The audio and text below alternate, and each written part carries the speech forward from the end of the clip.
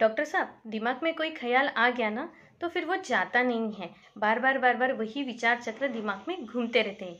एक बंदे ने कुछ मुझे इस तरह से सेज दिए तो दूसरा बंदा कुछ इस तरह से बोलता है कि जब भी मेरे साथ कुछ होता है ना तो मैं उस पर विचार करने लगता हूँ कि ये मेरे साथ क्यों हुआ है, कैसे हुआ है, इसका कारण क्या है, उसका मैं कारण खोजने लगता हूँ।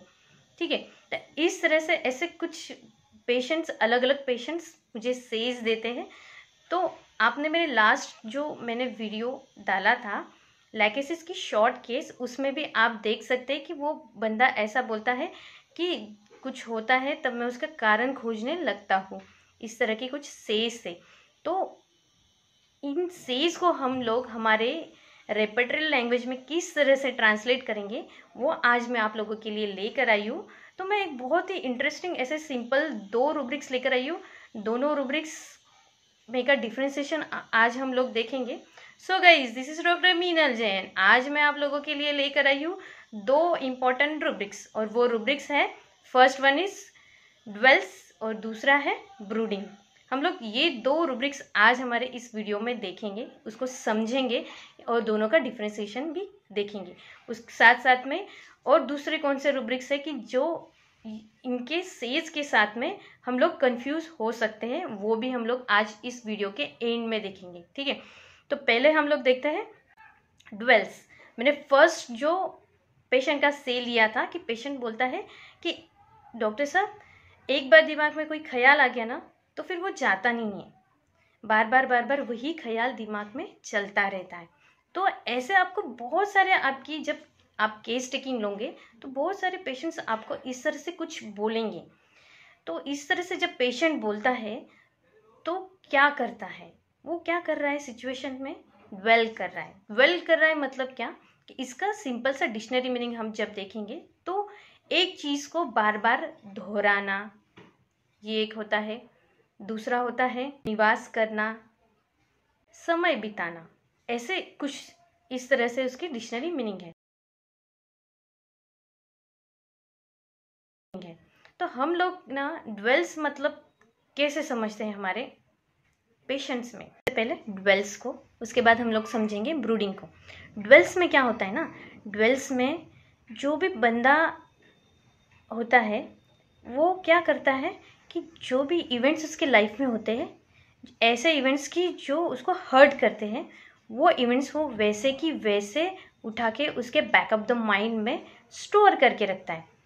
तो ये इस सिचुएशन में वो फ्रोजन स्टेज में चला जाता है।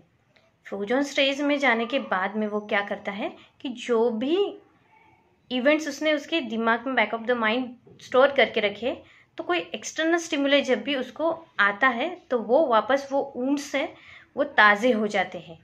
ठीक है? तो ये ऐसा होता है ड्वेल्स में। तो ड्वेल्स में बंदा क्या करता है? सिर्फ़ एक फ्रोजन स्टेज में रहता है। बार बार बार बार उसके जो मोमेंट्स उसके लाइफ में हुए हुए हैं, उसकी रिवीजन करता रहता है वो। उसको सिर्फ़ सोचता रहता है। वहाँ कोई एक्शन नहीं होती, कुछ नहीं होता है। सिर्फ़ सोचता रहता है। उसके उसके दिमाग में उस चीज़ के सिर्फ़ थॉट्स आते रहते हैं और वो थॉट्स उसको परेशान करते हैं। और ये जो परेशान करने वाले थॉट्स है, ये हम लोग हमारे रेपेटल लैंग्वेज में हम उसे ड्वेल्स कहते हैं। तो इस ड्वेल्स को ना हम लोग एक छोटे से एग्ज़ाम्पल के साथ में कोरिलेट करते हैं। जो कऊ होती है ना कऊ वो रूमिनेट्स करती है। मतलब क्या ना, कि जैसे कि जो गाय होती है, वो उसको जब कुछ खाने को मिलता है तो वो फटाफट फटाफट खा लेती है। ठीक है? खाने के बाद में वो क्या करती है, जो भी उसने स्टोर करके रखा है, उसको फिर से बाहर निकालती है और उसको चबाते बैठती है जब उसके फ्री टाइम में। तो सेम यही ऐसा कैसा उठा के आप ड्वेल्स में लीजिए। ड्वेल्स में क्या करता है बंदा?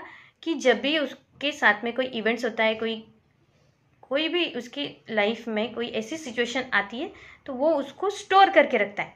जब भी आती है आती है आती है स्टोर कर रहा है स्टोर कर रहा है, उसके बाद में जब उसको फ्री टाइम रहता है या कोई एक्सटर्नल स्टिमुल आ जाता है तो वो क्या करता है?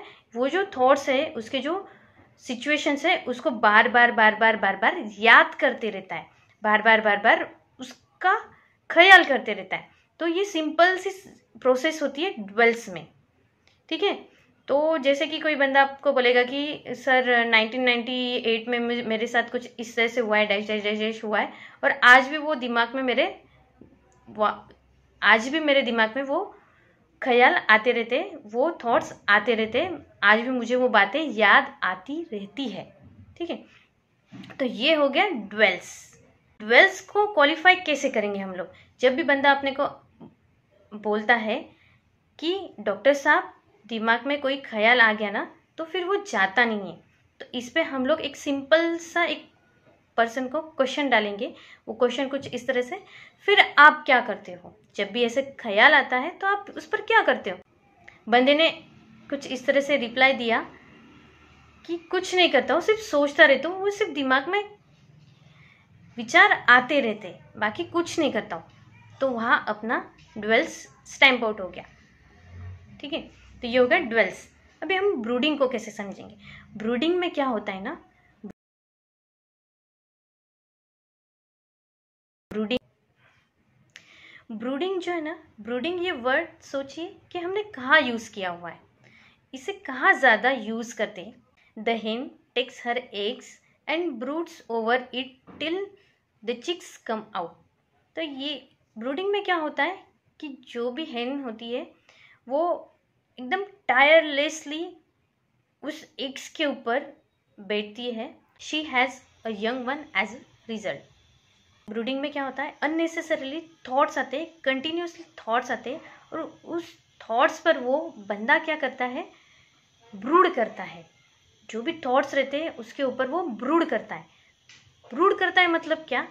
कि ब्रूडिंग में क्या होता है? एक ऐसी प्रोसेस है कि जिसमें से एक प्रोडक्ट बाहर निकलता है। ड्वेल्स में ऐसा नहीं होता है। ड्वेल्स में सिर्फ़ एक फ्रोजन स्टेज है और ब्रूडिंग में क्या होता है कि एक प्रोडक्ट बाहर निकलता है। ये एक प्रोसीजर है। तो इस में क्या होता है? पेशेंट क्या करता है कि जो उसके थॉट्स होते हैं, उस थॉट्स के ऊपर वो ब्रूडिंग करता है। यानी उस थॉट्स के ऊपर वो बैठता है, उस थॉट्स के ऊपर वो विचार करता है और विचार सोच सोच कर सोच सोच कर उसमें से एक प्रोडक्ट बाहर निकालने की कोशिश करता है। मुझे एक कंक्लूजन बाहर निकालने की कोशिश करता है। ज़रूरी नहीं है नॉट नेसेसरली कि जो भी वो सोच रहा है, जो भी वो प्रोडक्ट निकालने की कोशिश कर रहा है, जो भी कंक्लूजन निकालने की कोशिश कर रहा है, वो कंक्लूजन सही ही हो या उसमें से कुछ प्रोडक्टिव बाहर निकले ही। ज़रूरी नहीं है। पर वो प्रोडक्टिव करने की कोशिश करता है। मतलब वो अपने आप को ऑक्यूपाई करके रखता है। ठीक है? तो ये हो गया ब्रूडिंग एक सिंपल सा एग्ज़ाम्पल देती हूँ आपको। एक लड़का है, वो उसके एग्ज़ाम में फेल हो जाता है। वो फेल हो जाता है ना तो फिर वो क्या सोचता है? कि मैंने एग्ज़ाम में क्यों दी? मैंने एग्ज़ाम नहीं देना चाहिए था। मैंने ड्रॉप ले लेता तो अच्छा रहता। मैंने ये एग्ज़ाम दी, इसके वजह से ऐसा हो गया। नहीं देता तो अच्छा रहता। है ना? कुछ इस तरह से वो सोचता है। अब एक बंदा है, वो बोलता है कि मैं दिन भर यही सोचता रहता हूँ कि मैं मेरे ज़िंदगी में क्यों प्रोग्रेस नहीं कर पाया? क्या गलती हो गई मेरी? क्यों मैं इस तरह से हूँ? मेरे से क्या ऐसा हुआ कि मैं मेरे ज़िंदगी में प्रोग्रेस नहीं कर पाया? ऐसा कुछ सेज देते हैं पेशेंट अपने को। तो वो भी ब्रूडिंग में जाते हैं। आप लोगों को समझा? ड्वेल्स में क्या होता है कि ड्वेल्स में एक सिंपल सा वो पर्सन एक फ्रोजन स्टेज में रहता है। ब्रूडिंग में वो एक प्रोडक्ट निकालने की कोशिश करता है, उसके थॉट्स के ऊपर बैठकर यानी कि कंक्लूजन निकालता है। ज़रूरी नहीं उसमें से कोई अच्छा ही वो कंक्लूजन निकाले जब कंक्लूजन निकालने में असमर्थ भी रहा तो भी वो क्या कर रहा है, वहाँ ब्रूड कर रहा है। अभी ये जो ब्रूडिंग और ड्वेल्स ये दो रूब्रिक्स हैं और दो पेशेंट्स के अलग अलग थॉट्स से रेपर्टरी में कुछ और रूब्रिक्स हैं। फ़र्स्ट रूब्रिक है अलर्ट अलर्ट में क्या होता है ना? सिंपल सा अलर्ट में क्या करता है बंदा? पेशेंट अलर्ट में सिर्फ़ और सिर्फ़ नज़र रखे रहता है। जो भी उसके साथ होता है या जो भी उसके, वो डिसीज प्रोसेस में से गुजरता है तो उस प्रोसेस पर वो क्या करता है? सिर्फ़ नज़र रखे रहता है। वहाँ पे होता है अलर्ट एक पेशेंट होता है, वो बोलता है कि, सर, मुझे ना पेट में ट्यूमर है। तो मैं हर महीने यूएसजी करा के देख लेता हूँ। उसकी मेरी ट्रीटमेंट तो पूरी हो चुकी है, पर हर महीने में मैं यूएसजी करा के देख लेता हूँ कि वो बड़ा तो नहीं, वापस तो नहीं आ गया। पर दवाई वगैरह उसके लिए कुछ चालू नहीं है बोला मेरी। सिर्फ़ मैं हर महीने में सोनोग्राफी तो ज़रूर कराता ही हूँ। ठीक है? तो ये जो से सिंपल सा, ये होता है अलर्ट अलर्ट में बंदा क्या करता है? सिर्फ़ वॉच रखता है उसके ऊपर। उसके ऊपर वॉच रखता है कि भाई कुछ थोड़े ही साइन सिम्टम दिखेंगे, तब वो एक्शन लेगा। उसके पहले वो कोई एक्शन नहीं लेगा।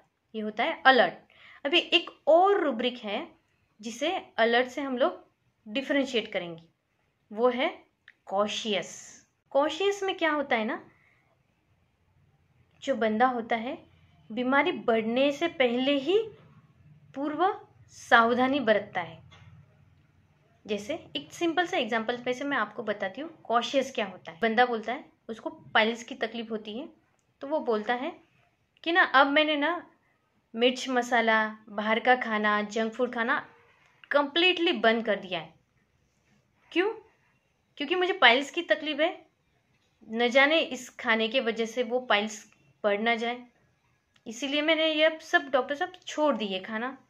तो ये हो गया कॉशियस मतलब क्या?